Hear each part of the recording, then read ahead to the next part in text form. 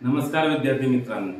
आज आपण नागरिकशास्त्र पाठ चौथा मूलभूत हक्क याविषयी बघणार आहोत. मागच्या तासिकेला आपण मूलभूत हक्क कोणकोणते मूलभूत हक्क कशाला म्हणतात याच्याविषयी माहिती बघितली. त्यामध्ये समानतेचा हक्क सुद्धा आपण बघितला. आज आपण स्वातंत्र्याचा हक्क त्याचबरोबर त्या ठिकाणी शोषणाविरुद्धचा हक्क या दोन मुद्द्यांविषयी आज आपण अभ्यास करणार आहोत. त्याचमध्ये बघा स्वातंत्र्याचा हक्क.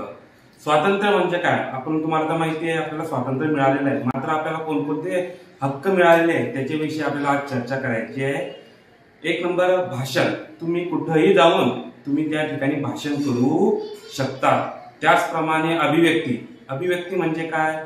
विचार संवेदना आणि भावना आपल्या त्या ठिकाणी व्यक्त करता आल्या पाहिजे. त्याचप्रमाणे शांततापूर्ण एकत्र येण्याचे व सभा घेण्याचे सुद्धा आपल्याला स्वातंत्र्य आहे. समूह करून मात्र शांततेत एकत्र येऊन आपण त्या ठिकाणी सभा आयोजित करू शकतो. त्याचं आपल्याला काय? स्वातंत्र्य आहे. त्याचबरोबर संस्था व संघटना स्थापन करण्याचे सुद्धा आपल्याला प्रत्येक नागरिकाला स्वातंत्र्य त्या ठिकाणी आहे. त्यानंतर भारतात कुठेही फिरण्याचे तुम्हाला स्वातंत्र्य आहे. भारतातील कोणत्याही राज्यामध्ये गेल्यानंतर तुम्ही कुठेही त्या ठिकाणी फिरू शकता तुम्हाला त्याचं कोणतंही बंधन त्या ठिकाणी नाही. कोणत्याही जिल्ह्यामध्ये कोणत्याही राज्यामध्ये मात्र फक्त भारतामध्ये.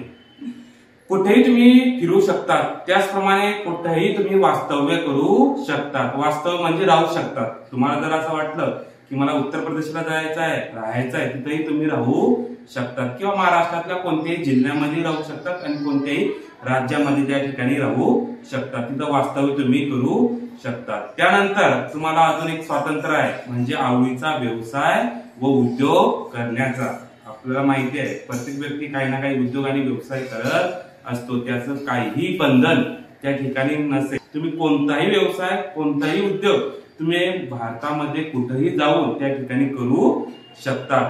त्याचबरोबर हे झालं त्या ठिकाणी स्वातंत्र्याचा हक्क. आता आपल्याला दुसरा हक्क बघायचा आहे शोषण विरुद्ध हक्क. शोषण म्हणजे काय? तुमचं कोणीही शोषण करू शकत नाही.